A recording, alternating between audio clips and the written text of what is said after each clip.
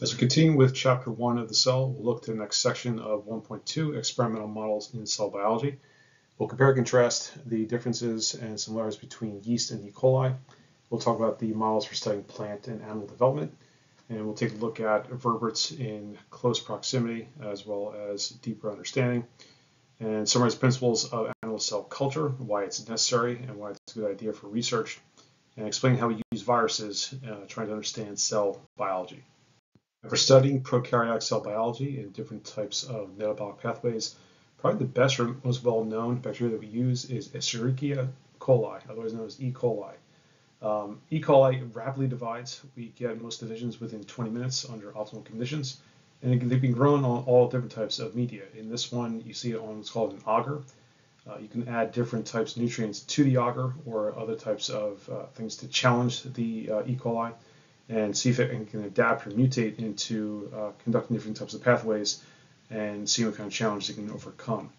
Uh, because of the size of its genome, it's relatively easy to study and break down and try and uh, identify certain types of genes or which ones you're trying to target is relatively simple because you have such a rapid change in the E. coli from generation to generation. Now, conversely, when we try and look at a eukaryotic cell, the Saccharomyces cerevisiae is our best culprit. So this is a eukaryotic unicellular organism. Doesn't quite rapidly uh, divide as quickly as the E. coli, because E. coli is 20 minutes. The uh, yeast here is going to divide every uh, two hours or so. Uh, but it's very important to look at different fundamental processes of different eukaryotic cells. In particular, you see that the nucleus in through here is easily seen. You can see again the nucleus over through here. So it's very important to um, to identify these particular areas so you can look at different types of um, metabolic and fundamental processes found in eukaryotes, which includes DNA replication, transcription, RNA processing, protein sorting, all through Golgi apparatus, and so on and so forth. So we move up in more complex organisms, which includes the multicellular eukaryotic organisms. This one here, called Caenorhabditis elegans, is a nematode worm. So scientists use this particular organism uh, as very easy to manipulate different types of genes, check certain pathways of embryonic development, and also check to see if there's certain types of genes that are analogous to our own uh, development. Uh, so it's become very useful in trying to trigger uh, the pathways for certain types of development and see how certain disease patterns uh, can occur. Here we see another uh, very common organism you find in the laboratory known as Drosophila melanogaster. This is your common fruit fly. Uh, we've been using these uh, in genetics labs for a, a, long period of time, since I think the 50s or even the uh, 40s. Um, very important because it has a very quick life cycle, has a reproductive cycle of about two weeks. Um, you can grow, I believe, from larvae to pupae to a full adult in two or three days. So you can crossbreed these pretty easily uh, for certain types of factors, like for eye color, for uh, wing length, uh, color of the abdomen, so on and so forth. But this has been very important for helping us map out vertebrate body planning uh, even though this is an invertebrate, uh, this organism, along with um, DC elegans, has given us a pretty good map of which genes can trigger, uh, say, development of, say, an eye versus development, say, like a certain extremity, uh, whether it be an invertebrate or a vertebrate. So uh, these have been very easy to take care of in the lab, uh, very easily crossbred, very easy to manipulate different types of genes as well. That has given us great strides in developmental genetics. And of course, for plants, we have the Arabidopsis thaliana, which is also a very uh, small flowering plant, very easy to take care of in the lab. Uh, very important because it has a number of unique genes, about 15,000 or so, uh, that can be adapted or modified to uh, check for different types of pathways or different types of growth patterns all throughout plants. Next, we look at different types of vertebrates.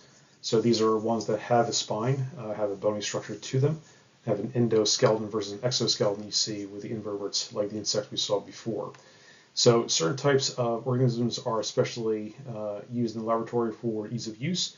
This is what's known as a zebrafish. The zebrafish, uh, one important aspect of the zebrafish is the uh, embryo on the left-hand side here is transparent, and so it's very easily to see different types of systems grow through different stages. Uh, these are grown outside the, uh, the womb of the mother, uh, so they're very easily accessible. Uh, and from the full reproductive cycle, it only takes about three or four months, so you can have a pretty good yield of a particular set of zebrafish. Now, the reason why we look at the, um, let's say, differently developed, I say less developed, differently developed organisms like this here This is, of course, uh, gives an idea of what is analogous uh, to the human development.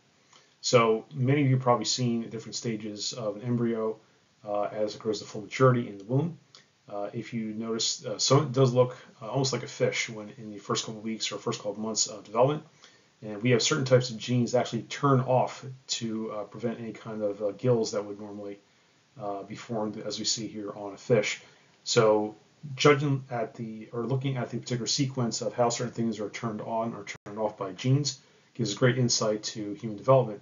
Uh, even though there are two vastly different types of organisms, they oftentimes will follow the same pathway up to a certain point uh, when something will differentiate into a new uh, type of development of an organ or different types of cell uh, or differentiate into something else entirely. So let's talk a little bit more about uh, embryonic development just for a few moments here. So as you can see here on the fish, you kind of get a good idea on this embryonic zebrafish where the head is, where the tail is, where the spine is. You can see the spine as you see right down through here. So this is analogous to different vertebrae that we find in other vertebrates as well. So what happens is you get what's known as differentiation of different types of cells. So as this embryo develops, um, the cells will differentiate into different types of cells that may be, say, a nerve cell or a bone cell or a cartilage cell or even a muscle cell. Each one is going to be determined to do a certain type of function uh, and does not revert back to its original state. So once it's dedicated as, say, a muscle, it's going to develop into a muscle cell and nothing else. Uh, once it develops into a nerve, then it'll develop into a nerve and nothing else. It doesn't revert back. Now, stem cells are going to be a little bit different. Stem cells will always stay in the embryonic stage, uh, and we're starting to learn now that we can trigger them in certain ways. We can make them into certain types of differentiated cells. But of course, we can't practice on humans, so naturally we practice on organisms like this uh, to try and see what kind of pathways uh, these particular types of cells can take if we manipulate the right ones, and also how viable uh, the organism will be thereafter. So as we look at the adult zebrafish, uh, we'll talk about uh, briefly how we select for different types of genes or certain types of uh, chromosomes that will um, manifest in different types of ways in different types of phenotypes. Uh, say, for example, for this particular zebrafish, you see different colored stripes there. We may actually try to uh, develop certain types of genes or turn certain types of genes that'll take the stripes away entirely, or possibly make everything a solid color or possibly make the fins larger, or just simply make the uh, particular fish more viable in a certain type of environment. In this case, this would be artificial selection. So using this type of organism here, since it has a relatively short life cycle, uh, relatively uh, easily taken care of in the lab, we can kind of see what analogous pathways we can change or modify to either prevent certain types of diseases happening in humans or possibly augment certain things that might be more uh, viable, let's say a more sturdy immune system, or let's say uh, trying to reawaken certain types of nerve cells, let them regrow uh, certain injured nerves or pancreatic cells. Uh, anything you imagine that happens in the human body, this is why we research these particular types of organisms to test them out first, to basically see what happens, and hopefully, if there's some human trials that we can do later on, uh, they'll be viable at some point. Now, we take in multiple factors. Which organism is the closest to our own, to, the, to humans themselves? It would be the simple mouse.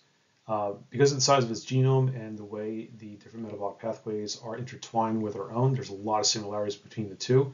Uh, this one illustrates a particular gene defect called piebaldism. So if you look here on the baby here, you can see a loss of pigment of the particular skin right through here, as well as on the stomach through there. You can see a uh, almost the exact same pattern seen on the mouse here on the abdomen, as well as the frontal and parietal areas of the forehead down through here.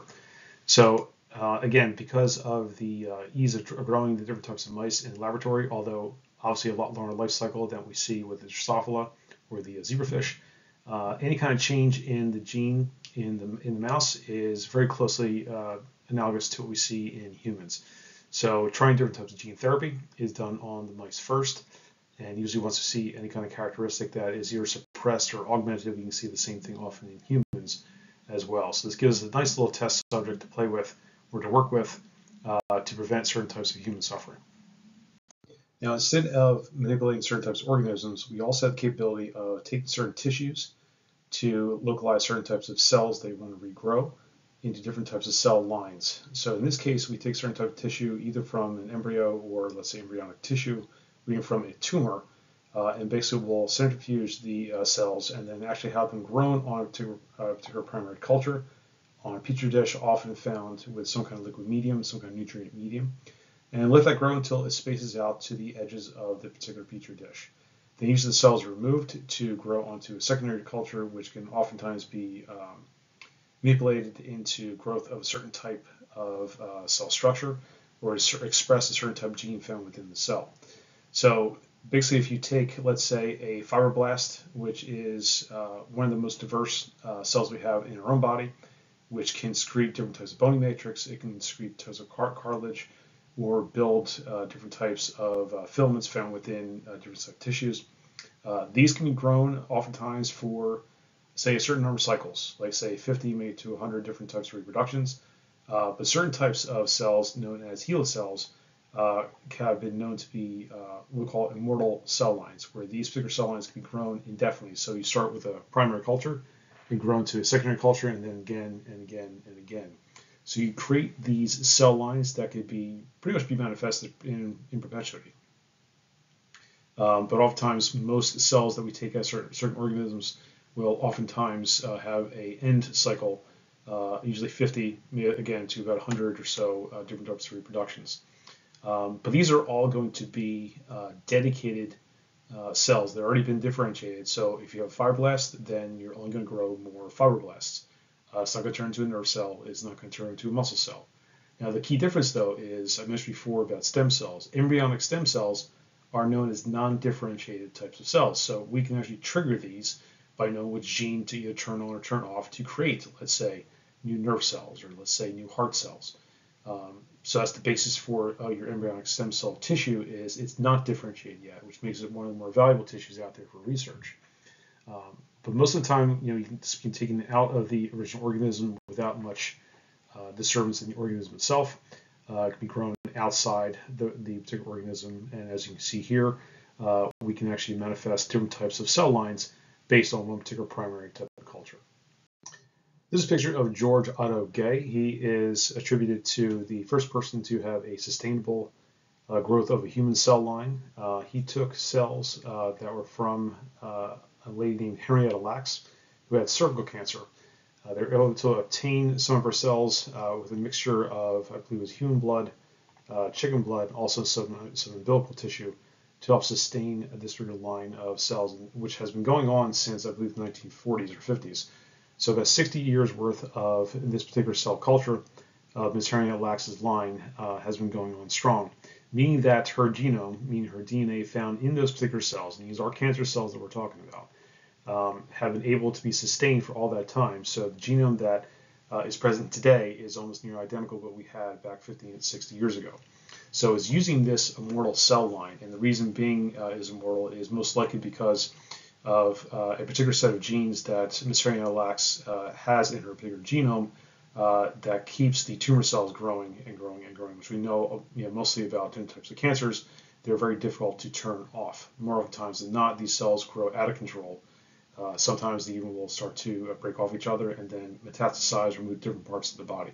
So these particular HeLa cells by uh, biologist George Gey have been very instrumental in give us an idea of how these particular cells work, uh, what kind of genes are involved, and how we can identify them, and also help to turn them on or off. Here are some magnifications of the original HeLa cell line from the least magnified at 1 all the way up to the highest magnification at 3. So very simply, if you're looking at these here, they are concentrating this area right through here. And this is magnified again through there. Once again, down through here.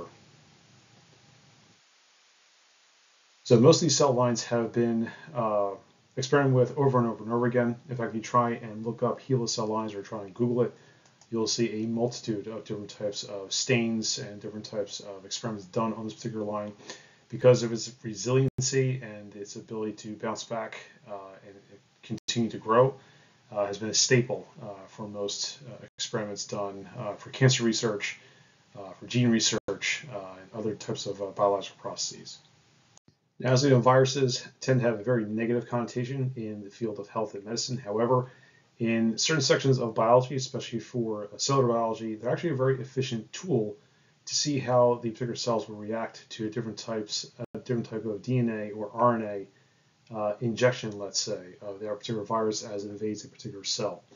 Uh, the viruses themselves, um, at least according to this textbook, uh, they do not replicate on their own.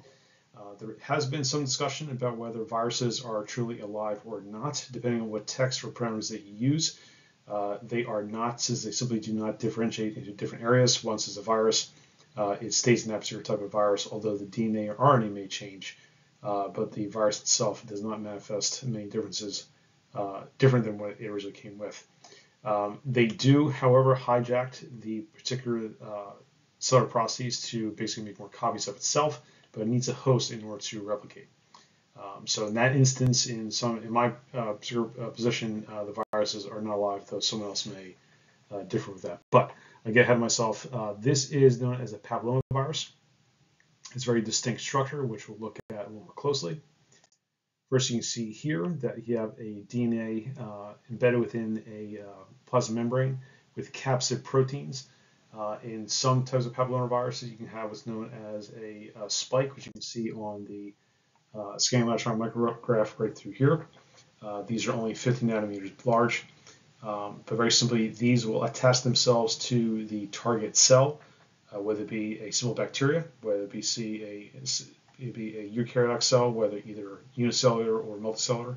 But watching the reaction of that particular uh, virus uh, and the cell's reaction, excuse me, uh, is gives great insight about how the cells work and how they operate.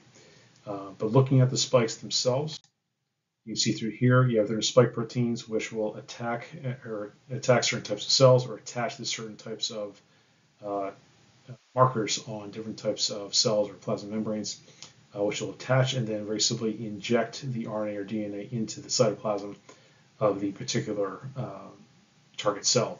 Oftentimes, if it's simply RNA, simply a ribosome will just simply bind to it and start cranking out more uh, RNA or another amino acid to start the building blocks of the next uh, level of viruses. Uh, otherwise, it can also be injected as DNA, which can uh, make its way into the nuclear membrane and then uh, basically clip itself into uh, the DNA found within the nucleus. So there is a particular mechanism that a lot of scientists will use to their advantage using viruses, uh, using the CRISPR uh, type mechanism, which helps us cut out certain types of genes uh, and basically excise out certain types of genes, which is a form of gene therapy, which in some cases can be relatively simple, but in other cases can be somewhat catastrophic, as oftentimes the genes may be targeted for one particular process, uh, or maybe say a certain type of step within a long sequence of steps uh, for certain de developmental processes. Uh, but as mentioned before, the viruses themselves are actually tools uh, that we use oftentimes to inject a certain type of uh, either a faulty gene uh, to force the cell to basically excite it. Uh, so basically to suppress a certain type of activity or metabolic process, which may lead to either relief from a certain type of disease or simply prevent it from ever occurring. This lovely picture here is a tumor known as the Rous sarcoma tumor. So very simply, there was uh, a virus that was isolated by uh, the biologist uh, Peyton Rous back in 1911 that found that uh, in chickens there are certain types of sarcomas, which is a very aggressive uh, type of uh, cancer that is caused by the Rous sarcoma virus. So this virus would trigger certain types of genes, which would allow uncontrollable growth of certain types of cells. In fact, that's what cancer is, where basically the uh, body of the organism has lost control of that particular type of cell and it just runs amok until it grows to such a point where it starts disrupting either its surrounding area or it destroys its original tissue. Uh, but very simply, this has helped scientists to figure out uh, what types of uh, genes, known as oncogenes, uh, that can cause different types of cancers. So this has been uh, very helpful in helping helping scientists not only with uh, obviously with viruses of chickens where this comes from, but knowing what kind of oncogenes can be turned on and off can definitely uh, be used for gene therapy for even uh, human type uh, cancers.